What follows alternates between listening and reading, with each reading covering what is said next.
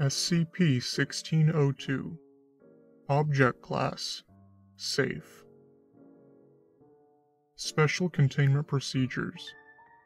As it only exhibits anomalous qualities when spread out, SCP-1602 must remain folded a minimum of five times when not undergoing testing. When SCP-1602 is removed from its container to undergo testing or cleaning, no fewer than three personnel are to be in a room with it at any given time. It is currently kept at Storage Site 49 inside a standard containment locker. Researchers seeking to conduct additional tests involving SCP-1602 must have written approval from a Level 3 staff member before removing the item from containment. Instances of SCP-1602-B are to be terminated by security personnel after researchers have made sufficient notes regarding its behavior. All remains are to be preserved and placed in storage. Description SCP-1602 is a plastic shower curtain. When it is spread and placed in a room with a single human subject, SCP-1602 will enter its active state and an extra-dimensional space containing SCP-1602-A will be generated behind SCP-1602. This phenomenon still occurs even when SCP-1602 is placed against a wall or other solid object. 5 to 30 minutes after activation, a faint light will appear roughly 3 meters behind SCP-1602, casting a silhouette of SCP-1602-A on the back of the curtain. SCP-1602-A will remain stationary for a brief period before drawing back SCP-1602 and approaching the subject. Pre-test counseling sessions conducted with D-Class subjects have shown that instances of SCP-1602-A take on forms that are representative of subjects' psychological insecurities. If an additional party enters the room during this process, SCP-1602-A and any physical traces of its existence will instantly vanish and SCP-1602 will re-enter its dormant state. If left unimpeded, SCP-1602-A will restrain the subject and forcibly pull them behind SCP-1602. Instances of SCP-1602-A have consistently proven capable of outrunning overpowering and subduing subjects through non-lethal means. Once the subject has been taken behind SCP-1602, SCP-1602-A will return SCP-1602 to its spread position. SCP-1602 will then re-enter its dormant state. In roughly 10% of tests conducted with D-Class personnel, the captured subject re-emerged from behind SCP-1602 unharmed and with no memory of their abduction. In the remaining tests, SCP-1602 spontaneously reactivated 10 to 60 minutes after the subject's disappearance, and an instance of SCP-1602-B was generated. SCP-1602-B are identical to the most recent version of SCP-1602-A, However, they will not disappear when viewed by a person other than the subject. SCP-1602-B can be easily terminated with a standard firearm, even when SCP-1602-B possesses no visible means of animation. SCP-1602 was retrieved on August 13, 1988 from a hotel in South Dakota. During the initial containment mission, Foundation field agents discovered an instance of SCP-1602-B inside a hotel room and presumed it to be an independent anomaly. The instance was designated SCP-1602 and the mission was deemed a success. When Foundation intelligence intercepted a second report of a monster at the same hotel, a more thorough examination of the building was initiated. SCP-1602's actual nature was eventually discovered and its documentation was rewritten. Experiment Log Test 1602-5 Subject D1602-5, a Caucasian male, age 20. During conversations with on-site counselor, Dr. Subject confessed that he had coerced his girlfriend into having an abortion Subject expressed profound feelings of regret surrounding this event. Procedure SCP-1602 hung on a plastic shower rod suspended from the ceiling in the middle of the test chamber. Subject was instructed to walk around SCP-1602 and view the other side once it entered an active state. Results SCP-1602 entered an active state after approximately 5 minutes, consistent with activation time in previous tests. The subject noticed a faint light emanating from behind SCP-1602 and walked around to view the other side. Subject reported that upon viewing the other side, SCP-1602 apparently re-entered its dormant state. The light vanished and was no longer visible from either side of SCP-1602. No other anomalous activity reported.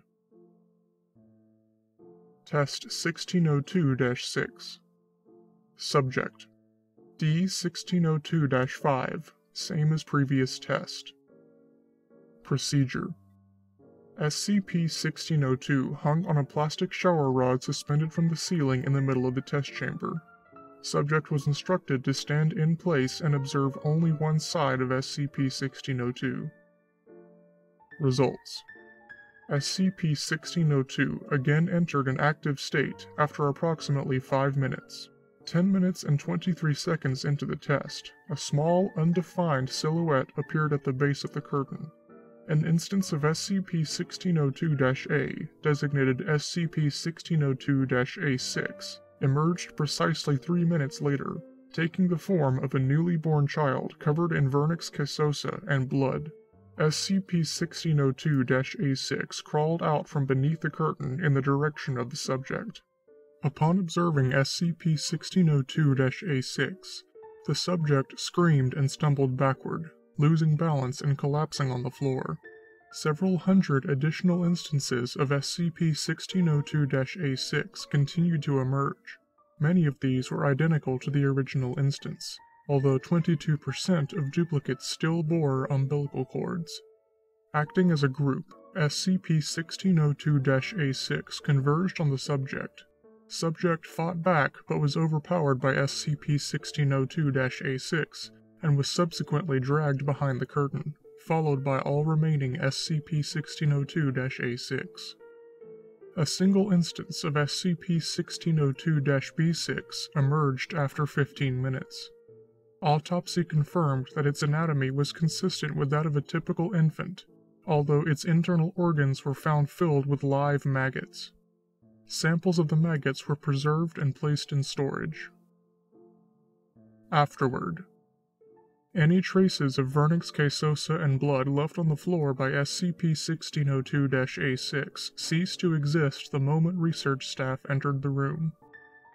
Comments the presence of multiple instances of SCP 1602 A at one time suggests that SCP 1602 A are entities generated each time SCP 1602 enters an active state, rather than a single entity that assumes different forms, as had been previously theorized.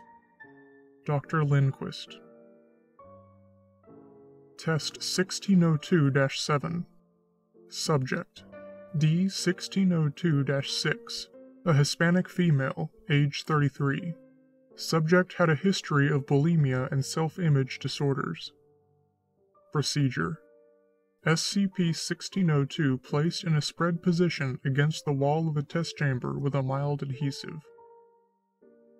Results Subject exhibited high levels of anxiety and panic upon SCP 1602 entering its active state repeating the phrase, I can't do this.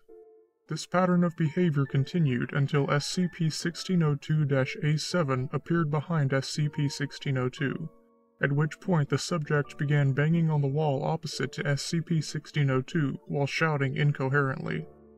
SCP-1602-A7 pulled back the curtain, revealing a cavity in the wall that had not previously existed.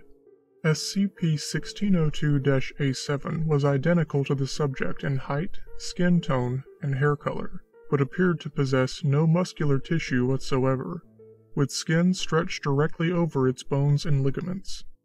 Lack of musculature notwithstanding, SCP 1602 A7 still possessed a high level of mobility and strength, grabbing the subject by the ankles and pulling them behind the curtain.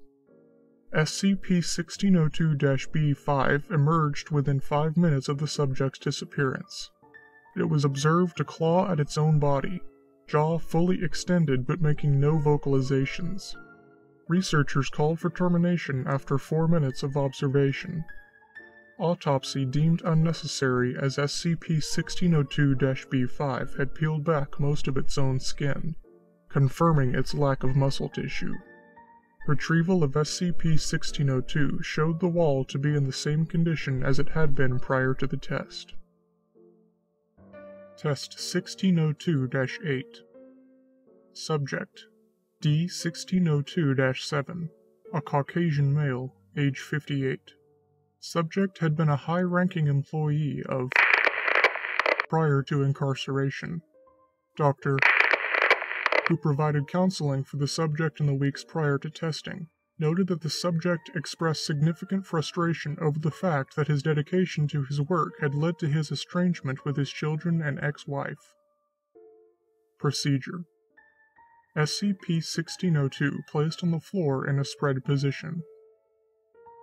Results SCP 1602's horizontal orientation did not appear to alter its effects, activating within the standard time frame.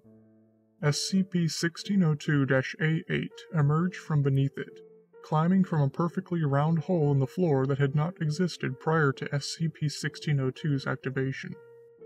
SCP 1602 A8 took the form of a clown in a loose polka dotted suit. While its body resembled that of a natural human, its head was disproportionately large and made from what appeared to be papier mache, with areas of the face cut out where its eyes and mouth would typically be located. A reflective substance, later confirmed to be standard confetti, poured continuously from these orifices for the duration of the test. This test marks the first time an instance of SCP 1602 A has made vocalizations, despite its lack of visible means of articulation. SCP 1602 A8 approached the subject very slowly, repeatedly expressing a desire to play and encouraging the subject to loosen up and live a little. Subject attempted to engage SCP 1602 A8 in conversation, making humorous inquiries about its nature, albeit with a significant amount of profanity. 34 minutes after the subject's capture, SCP 1602 B8 was generated and proceeded to stumble around the room in a state of extreme distress. Like SCP 1602 A8, it made numerous vocalizations, though most of its statements were requests to see Dr. Lindquist and questions regarding itself. The following is the subsequent exchange between SCP 1602 B8 and Dr. Lindquist. We'll start by confirming your identity. What is your name? Data redacted. What are the names of your children? Data redacted. What's happened to me? Please remain calm and answer the questions. Do you have any pets? Oh, I have a great Dane named Dorothy. Please, doctor, I need help. I'm blind. What did you see after you were taken behind the curtain? I didn't see anything. What's happened to my face? Why am I blind? What did that thing do to me? That's what we're trying to figure out. We want to help you, but you need to answer our questions. Did the entity say anything to you, you let after? this happen. For the love of God, doctor, what's it done to me? Why can't I see anything? Why is everything so cold? Why does my head feel? Please try to remain calm. I only have a few more questions. Nothing's changed. Nothing's changed.